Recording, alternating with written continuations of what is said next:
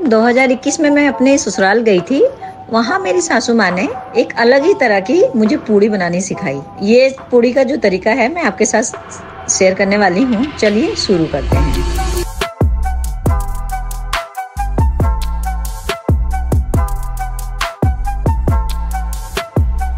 शुरू करते हैं। एक कप मैंने ले लिया चने की दाल और इसको अच्छे से तीन चार पानी धो लेंगे प्रॉपर जिससे कि इसमें जो डस्ट है, वो निकल जाए।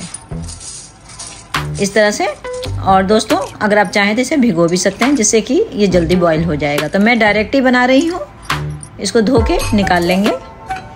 मैंने ले लिया कुकर और कुकर में मैं सारे चने की दाल डाल दूँगी। धो चुकी हूँ मैं तीन से चार पानी। और इसमें हम पानी डालेंगे।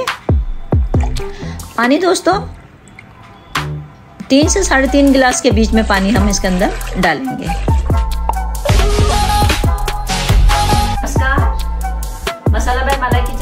लोगों का बहुत बहुत स्वागत है। दोस्तों, कैसे आप सब लोग? मेरे प्रति बहुत ही अच्छे से होंगे। और हाँ दोस्तों, एक रिक्वेस्ट और करनी है। पूरा वीडियो ज़रूर देखिए। चलिए वीडियो करते और डाल लेंगे हींग। हींग डालने से आपका डाइजेशन अच्छा रहेगा। और डाल लेंगे हल्दी। एक छोटा चम्मच हल्दी डाल लिया। जिससे कि फ्लेवर काफ़ी अच्छा आएगा और कलर भी काफ़ी अच्छा आएगा।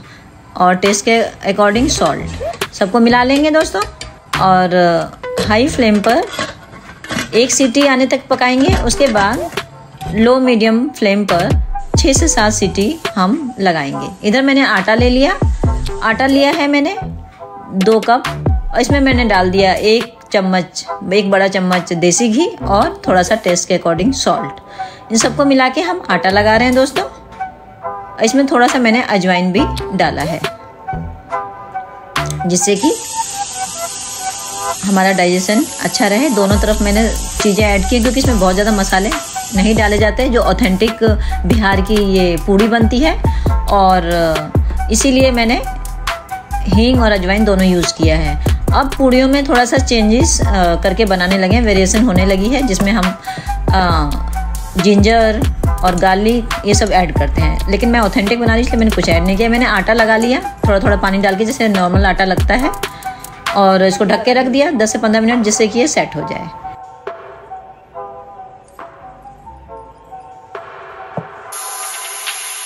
इधर मेरा जो है, आठ सीटी आ चुकी है। उसके बाद मैं खोल के चेक कर लूँगी।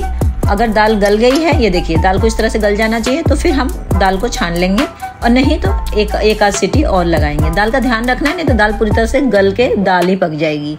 तो दोस्तों, ये ध्यान रखना छः से सात सात सीटी के बाद आप इसको चेक ज़रूर कर लेना। और दाल को ठंडी कर लिया मैंने, ठंडा करके इस तरह से दाल की कंसिस्टेंसी रहनी चाहिए। अब पीस लेंगे। ग्राइंड कर लेंगे दाल को।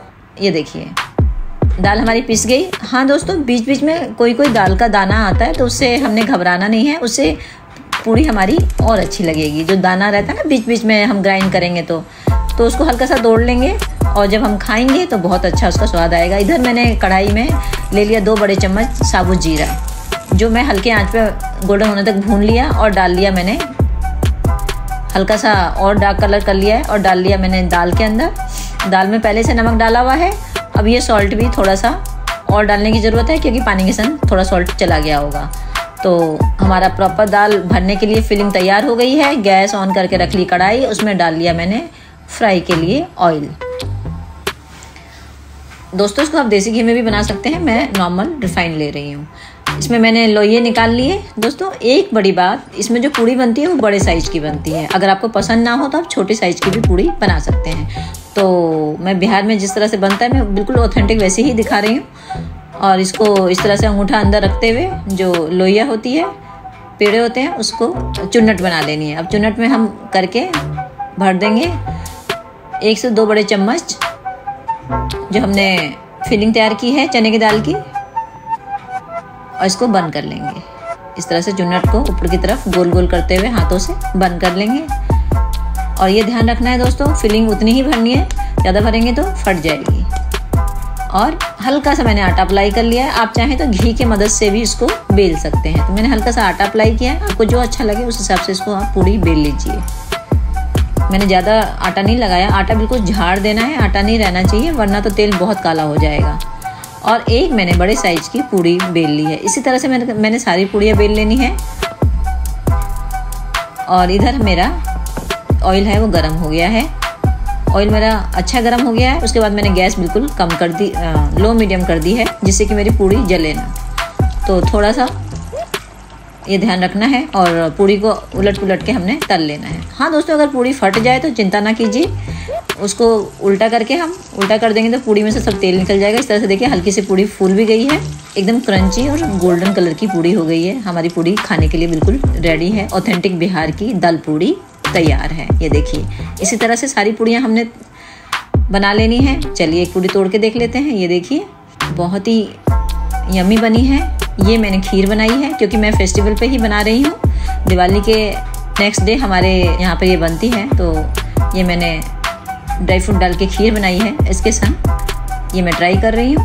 बहुत टेस्टी बनी है। वाह आप भी इसे ट्राई कीजिए और अच्छा लगे तो लोगों के संग शेयर भी कर सकते हैं। लाइक करना बिल्कुल मत भूलिए। अभी तक मेरे चैनल को सब्सक्राइब नहीं किया तो प्लीज़ प्लीज़ सब्सक्राइब कर लीजिए। बेल का निशान नीचे रहता है, उसे प्रेस करना बिल्कुल मत भूलिए। सभी का वीडियो देखने के लिए बहुत बहुत धन्यवाद। फिर मिलते हैं नेक्स्ट वीडियो में।